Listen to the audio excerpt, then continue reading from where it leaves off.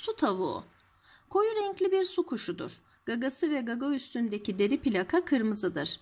Gövde yanında beyaz bir çizgi geçer. Hem yürürken hem de yüzerken devamlı kuyruğunu kakar ve bu esnada beyaz kuyruk altı örtülerini gösterir. Yüzerken gövdesi oynaktır. Devamlı başını ileri geri oynatır. Kıyısı sık sazlıklarla örtülü, tatlı su içeren tüm göller, göletler, su dolu çukurlar onların yaşam alanını oluşturabilir. Kuzey ve Orta Avrupa'nın bir bölümünde ise kışları Güney ve Batı Avrupa'da geçiren kısmi göçmenlerdir. Göç zamanı Ekin'den Nisan'a kadardır. Su tavukları geceleri bireysel göç ederler. Gaziantep'te birçok alanda gözlemlenebilir.